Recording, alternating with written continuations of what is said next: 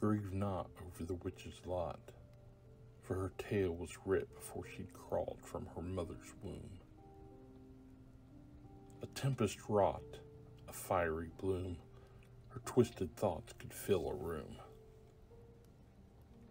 But magic is more twisted still, growing up from blackened earth and reaching for the sky.